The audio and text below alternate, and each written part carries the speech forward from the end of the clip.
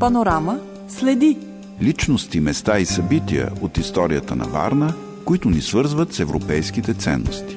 Панорама следи. Неделя в 18.30 часа с Любомир Кутин.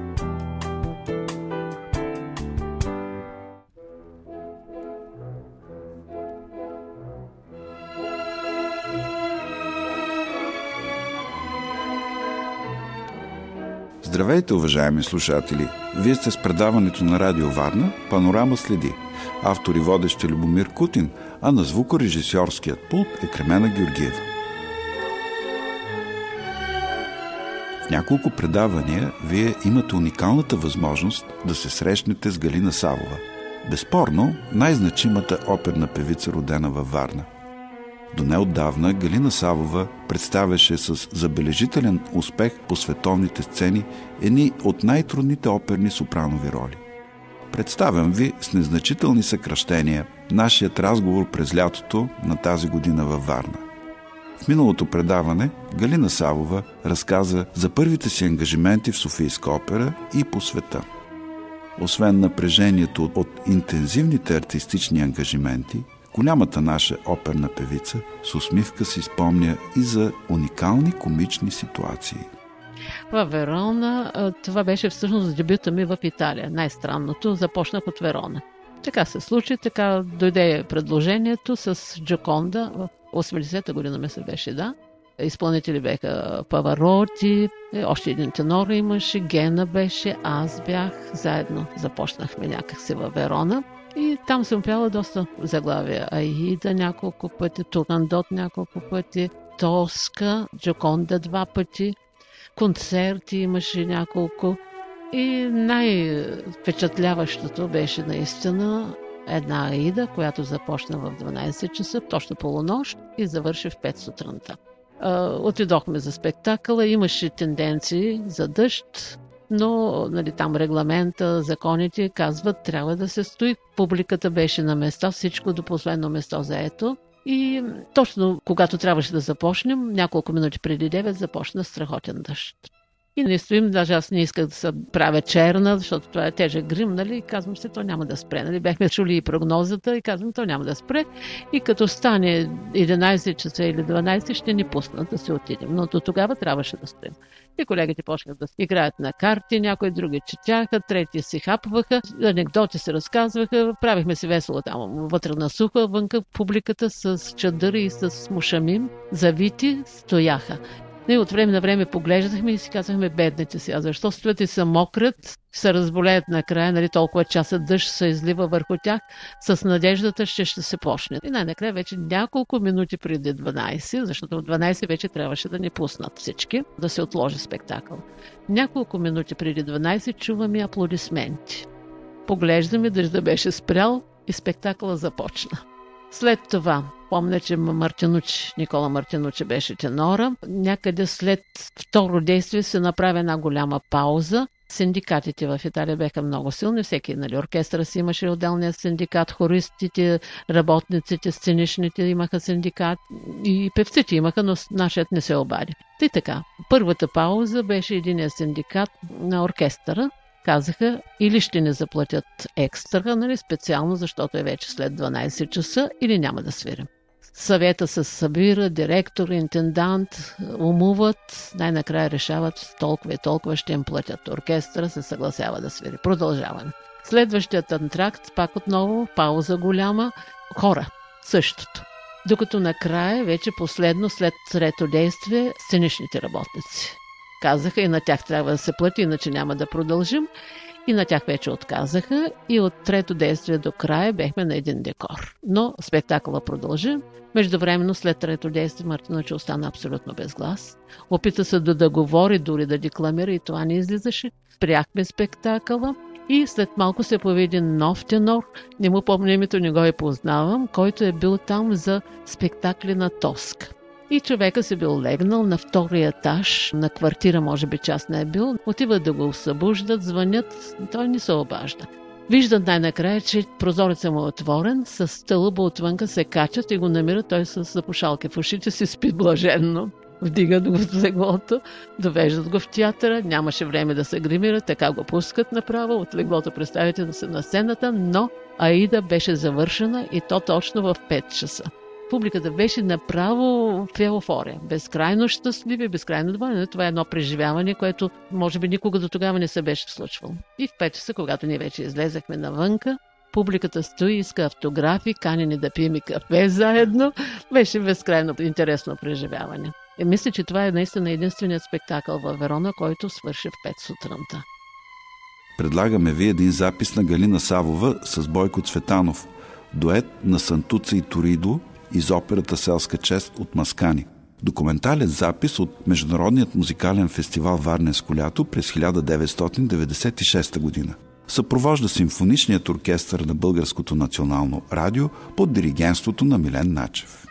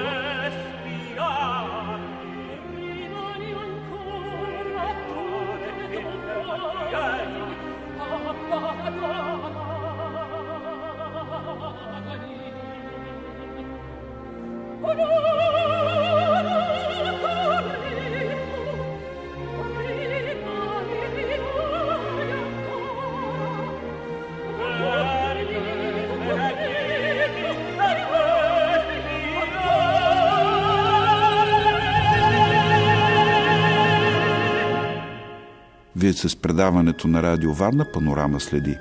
Галина Савова разказва за срещите си с оперната публика по най-големите световни оперни сцени. Сред тях Верона заема специално място. В Верона имам безкрайно интересни преживявания. Наистина, защото това е една много пленителна, много интересна сцена. Особено, когато съм била публика, да не мога да оценя това, когато малко преди спектакъл вече е затъмняло, нали, и всичките запалват тия свещички. Всичките от публиката си купуват свещички, канделца някакви и ги запалват и става абсолютна тишина. Никой не мърда, като че ли никой не диша, тези свещички светват и започва овертюрата. Неповторимо преживяване. Трябва да спомена Лондон, Ковен Гарден, там дебюта ми беше малко така и писаха вестници, че малко късно вече бях пяла в, абсолютно навсякъде в, в Европа когато дойде предложението от Ковен защото преди доста години имах предложение, не бях свободна, отказах. След това дойде отново предложение, пак Турандот беше и бехме точно една след друга с Гена. Също пак заедно бяхме партията, няколко спектакла тя, няколко аз. След това правихме в Уембли отново някаква грандиозна постановка Турандот с много турандот и много тенори. След това дойде предложението за Тоска и аз точно в Токио бех щупила крака. Трябваше да откажа, но и това е един изключителен театър с големи традиции, с големи изпълнители, диригенти, певци. Интересното в Common Garden беше, че дойдоха от BBC. Българи, които аз не, не говоря английски, единствения език, европейски език, който не говоря и много трудничко ми беше и се чувствах чужда и когато те дойдоха беше безкрайна радост. Много сърдечни бяха, след това ме поканяха, показаха ми BBC да разгледам. С някои от хората от BBC все още се поддържаме връзката. Беше безкрайно приятно и мигновено се почувствах у дома си и там. Трябва да спомена Венската щат опера. Там съм пяла доста заглавия, доста години подред и имам безкрайно хубави впечатления. От колегите, с които съм пяла, заглавията, постановките, диригента, публиката. Преди всичко това е една безкрайно компетентна музикална публика, разбираща публика, бореща се за добро ниво, за хубаво качество на, на оперите. Това е наистина един световен театър. С затеян дъх и като изпълнител съм влизала и като слушател. Имам безкрайно хубави спомени от там и много хубави заглавия съм пяла. Там съм пяла Аида, там съм пяла Джаконда, Андре Шиние, Тоска. Там си имах и моя публика, мои почитатели. Там беше и българката Маргарита Лилова, с която често бехме заедно на сцената. С Веселина Кацарова съм пяла Андре Шиние, когато правеше първите си стъпки. Все големи певци бяха там винаги. Да чуем Галина Савова в един характерен за нея немскоязичен репертуар – Смъртта на Изолда от музикалната драма Тристан и Изолда от Рихард Вагнер. Съпровожда симфоничният оркестър на Българското национално радио диригент Александър Владигеров.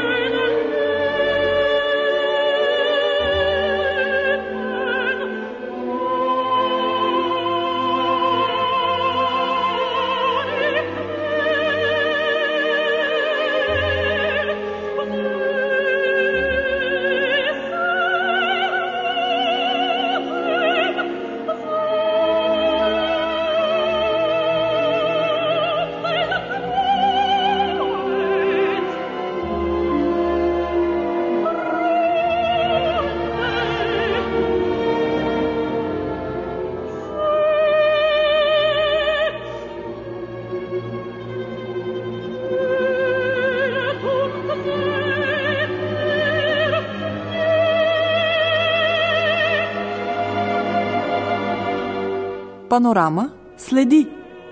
В своите многобройни гастроли по световните оперни сцени Галина Савова се среща неведнъж и с български изпълнители. С Геуров съм пяла само в Монте Карло, Симон Боканегра. Той беше вече женен за Мерела Френи. Вече беше, може би, към края на кариерата си. Някакви много специални отношения почти нямахме. Вечеряхме се, спомням, заедно с него и с Мирела. Беше много въздържан. Може би имахме и той и аз един неприятен спомен от Софийската опера. Когато аз бях още стъжанка, имахме спектакъл след обеден на Русалка. Той беше дошъл за някакъв гастрол и е, нашия следобеден спектакъл закъсняваше нещо. И той изнервничи, зад кулисите беше, нали, аз млада неопитна певица, трябва да излезе на сцената и го чух как възнеготува и с разсърди, че спектакъл закъснява, а той трябваше да има, мисля, репетиция, не беше даже спектакъл. Това беше първото ни, ни среща с него. След това в Монте Карло просто няма много някакви спомени ярки и интересни. Той пя, аз пях, нали, когато човек пее много малко, му остава време да обърне внимание на колегите. Беше симпатичен, въздържан човек. Много лични спомени от него нямам, защото това е единствената ми проява с него. От други, да помисля с кого съм пяла, с Емил Иванов съм пяла, в, мисля, че беше в Германия, в Штутгарт, Тоска сме пяли. Безкрайно етичен, приятен, млад, чаровен беше. Имахме някакъв много интересен, спонтанен контакт. И с него, и с съпругата му. Останахме си приятели. Когато се срещаме, мисля, че и той и аз имаме хубавото чувство. С Калуди сме пяли в Швейцария, Джоконда, това беше неговия дебют, аз бях ветеранка. Джоконда съм пяла почти навсякъде, където се е давали. Това беше и моята любима партия и наскоро прелиствах клавира си. Имах добрата идея да си напиша на клавира коя година къде съм пяла Джоконда и наистина съм е пяла почти навсякъде, където се е давали. Ето както във Верона два пъти дори, 80 и 88. С кого друго го съм пяла от българите? С Димитър Петков, Пяхме обаче във Варна, тук Верди Реквем. И веднъж на някакъв концерт в Будапешт. А с други българи мисля, че не съм пяла. Варна, Варна е най-красивият, най-хубавият, най-интересният град за мен. Тук съм родена, естествено. Така си го чувствах, мога да кажа, след като съм обиколила почти целия свят. И съм срещала, намирала съм се в много красиви, интересни градове и на море, но за мен Варна се оставаше най-интересен, най-хубавия град. Семейството ми беше тук, естествено. Съученици, първите ми стъпки, спомени, музикално и така нататък. И затова си имам, естествено, специалното отношение към Варна. И когато ме помолиха тук да участвам, просто не ми беше много удобно в момента, но нямах сърце да откажа. И особено този турандот в летния театър – концерта, който направихме за операта, 50 годишнината, мисля, беше. Участваше Гюзелев, участваше, мисля, че и Тевка Евстатиева, но въпреки, че беше безкрайно трудно, тази Турандот трябваше да я пее в 12 часа пред нощта. Нали, Аида все пак беше нещо друго, но Турандот, второ действие, това беше нали, определено на Буко имаше, мисля, Турандот и Тездеймон, Отело, да, да. И е, не знае защо така гради, така се борих и се молих да мине Турандот първо, но оставяха като последна и беше в 12 часа.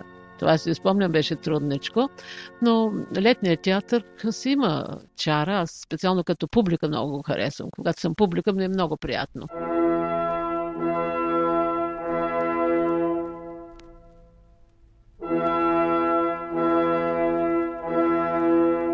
Днес е последното от поредицата предавания, посветено на изкуството на голямото българско сопрано Галина Савова.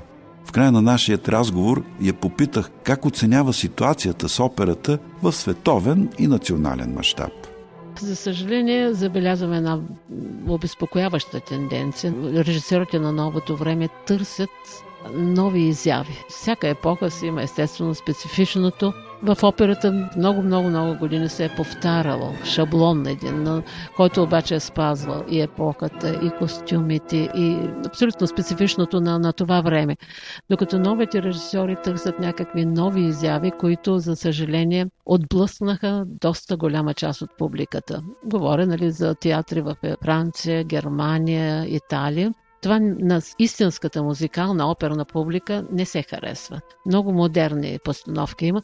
Имам един случай с Доминго в Хамбург. Синът на Маро Делмоно, ако беше режисьора, беше направил една много модерна тоска. Действото се развиваше по време на фашизма. Скарпе беше с униформа, постановката второ действие имаше само една маса желязна с един телевизор. Той показваше на тоска на телевизора как измъчват Маро и така нататък. Маро трябваше да бъде нещо като полуумен.